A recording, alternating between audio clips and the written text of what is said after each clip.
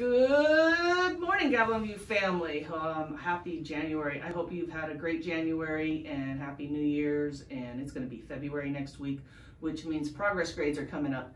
So we want to make sure that you are staying on and up to date on all your assignments, asking teachers for all the help that you need, advocating for support, going to the extended day program as you need, and making sure that you're communicating with your teachers and not procrastinating. So with that, make sure you stay up on everything. Progress grades will be going out next week. And um, also next week, we are starting our ELPAC testing for our English language learners. So you will be um, being pulled out for some of those tests. Please do a good job on that. We would really like to see some great scores on your ELPAC testing so we can see how many people um, um score proficient on that so we can um, redesignate you English proficient.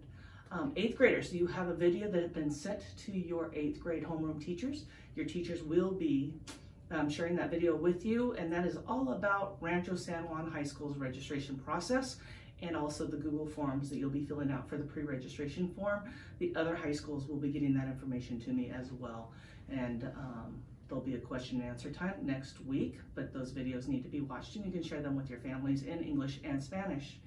Seventh graders, um, Ms. Johnson and the seventh grade homerooms are working on the supply bags. So please listen um, for the shout out of when supply pickups can be picked up by the for the seventh graders. And the sixth grade books have almost all been picked up and kids are starting to enjoy those novels um, called Harbor Me.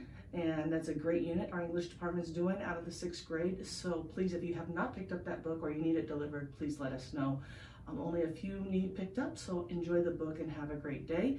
Continue to make your character count. Today is kindness week starts and make your character count. Do something special when nobody's looking for somebody special and make sure you're taking care of yourself and all the things that you need to do to be the most successful person you can. Have a great day. Go Hawks.